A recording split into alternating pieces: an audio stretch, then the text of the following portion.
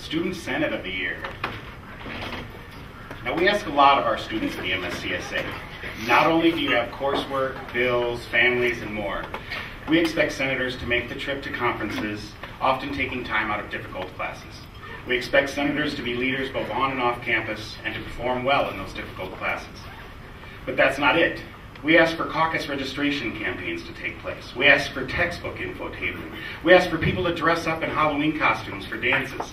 And we ask for a whole ton of other stuff too.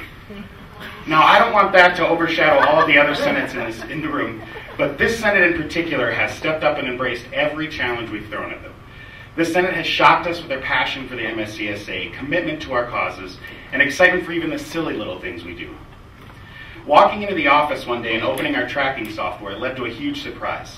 The caucus registration numbers were so high, we knew there must have been a mistake. We checked the numbers, checked the system, and finally called the campus to find out. Turns out it was true. The Senate had really kicked that much butt. Please join me in celebrating the Student Senate of the Year, South Central College Mankato. Thank you to everybody here. Um, this group definitely deserves this. Um, you know, they took a lot of time out of their busy schedules. Um, you know, there's times that I had to call these people, you know, just to get you know, an extra person to advocacy days because somebody had to back out last minute. Um, these guys definitely have, you know, stepped up.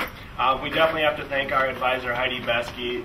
Um, she definitely has taken time out of her, you know, personal life to help us out. Um, she at the beginning of the year actually uh, sat down and did the uh, personality colors quizzes and stuff with us. Um, just to find out that I'm going to be working with a bunch of blues, which somehow I'm not supposed to get along with. But uh, you know, through her hard work, we uh, found a way around it, um, and definitely uh, have worked really hard. So thanks you. Thank you. Thank you, Andy.